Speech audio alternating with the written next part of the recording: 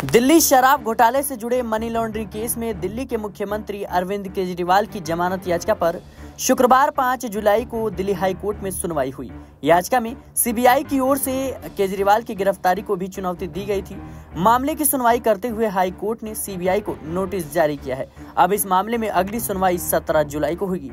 मामले की सुनवाई के दौरान केजरीवाल के वकील ने कहा कि अरविंद केजरीवाल कोई आतंकवादी नहीं है। उन्हें जमानत क्यों नहीं दी जा रही? इस दौरान कोर्ट ने कहा कि जब आपको जमानत निचली अदालत से भी मिल सकती है तो ऐसे में आप हाई कोर्ट क्यों आए हैं? कोर्ट ने सुनवाई के दौरान सीबीआई को अपना जवाब दाखिल करने के लिए नोटिस जारी करने के साथ साथ समय भी दिया है।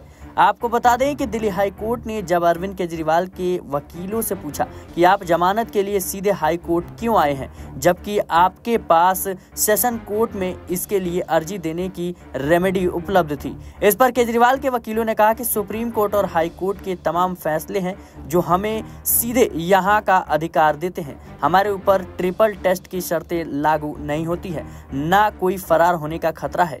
इस बात पर भी गौर किया जाए कि केस दर्ज होने के दो साल बाद गिरफ्तारी हुई है। सीबीआई ने विरोध करते हुए कहा कि वे सीधे यहाँ नहीं आ सकते। हमने चार्जशीट दाखिल की है। केजरीवाल के वकील अभिषेक मनु सिंघवी ने आगे कहा कि सुप्रीम कोर्ट ने कानून तय कर दिया है कि यह धारा 45 पीएमएलए शामिल नहीं है। जज आज ही इस पर सुनवाई कर सकते हैं। यह जमानत याचिका है। इन सभी फैसलों का क्या मतलब है? अगर सीबीआई के वकील आते हैं और कहते हैं कि मुझे ट्रायल कोर्ट जाना चाहिए। इस पर कोर्ट ने कहा कि सुप्रीम कोर्ट ने कितने मामलों में औचित्य के आधार पर ट्रायल कोर्ट जाने को कहा है? कानून स्पष्ट है। हमारे पास समवर्ती अधिकार क्षेत्र है। जब आपके पास उपाय उपलब्ध है तो उच्च न्यायालयों को बाधित ना करें। कोई कारण होगा कि आप सीधे हाई कोर्ट आए हैं। फ़िलहाल जिस तरीके से अरविंद केजरीवाल की शराब घोटाले को लेकर के मुश्किलें बढ़ रही हैं, ज़ाहिर सी बात है, केजरीवाल के वकीलों का साफ़ तौर पर यह तर्क है कि केजरीवाल जो है, वो आतंकवादी नहीं है, ना ही उनके भागने का डर है। आखिर उनकी जमानत क्यों रोकी जा रही है? फ़िलहाल इस मुद्दे को लेकर के आपकी क्या राय है, हमें कमेंट बॉक्स में ज़रूर बताएँ।